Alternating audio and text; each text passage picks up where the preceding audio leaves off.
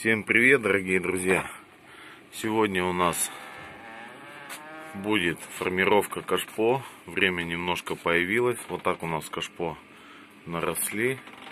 Хочу показать, которые кашпо перетягиваются, как мы их формируем. Вот так у нас уже наросли эти кашпо. Недавно делал обзор, когда они начинали зацветать. Вот так они уже распушились. И сейчас покажу, в каком состоянии мы, если что, начинаем чикать. Вот этот тоже можно чикать, подвытянулся. Чикать это очень хорошо. Сейчас пойдемте в большую тепличку.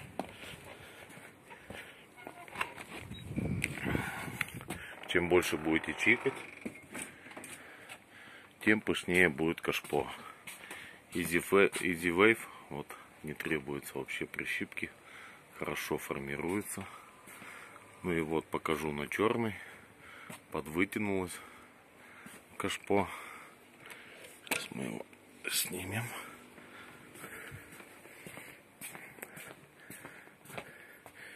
И покажу, как мы это делаем.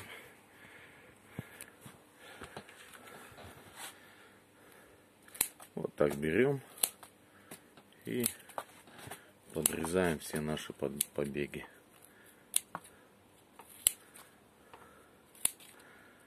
Чем больше будете стричь, тем круче будет кашпо. Вот так почикали наше кашпо.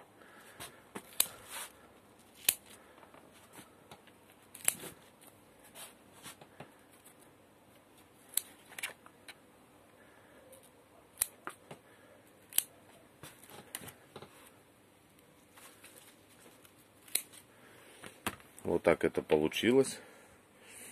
Через две недельки его будет не узнать. Сейчас оно пышечка такая. И через еще вот эти вот маленькие надо будет обязательно тоже прищипнуть, тоже постричь, которые это небольшие все побеги. Когда потому что подкормочку сейчас сделаем. И вот эти побеги, самые первые, тронутся в рост.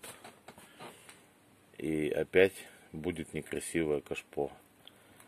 А когда уберем все эти начинающие побеги, то вот из каждого пазуха пойдет новое ветвление. Ну и через две недели это кашпо будет не узнать. Просто у нас тут жарковато, кашпо подтягивается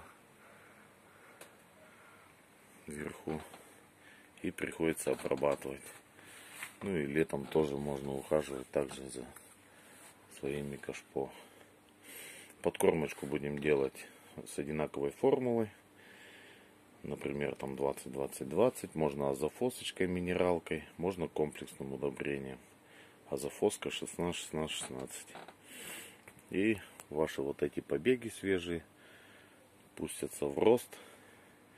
И будет новый шарик у вас через недельку, через две. Ну, смотря какой режим температуры будет. Такая погода. Если солнечно, пойдет все быстро.